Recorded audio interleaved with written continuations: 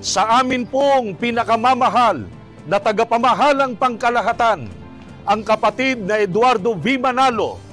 Kami po na mga may tungkulin, kasama po ang lahat ng mga sinusubok at mga dinodoktrinahan ay nagagalak po sa pagsapit ng inyong kaarawan.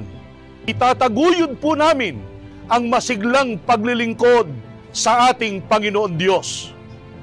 Happy birthday po! Mahal na mahal po namin kayo! Kapatid na Eduardo V. Manalo, kami po ay bumabati sa inyo ng Happy Birthday po! Mahal na mahal po namin kayo. Kapatid na Eduardo V. Manalo, ang amin pong tagapamahalang pangkalahatan, kami po ay bumabati sa inyo ng Happy Birthday po! Mahal na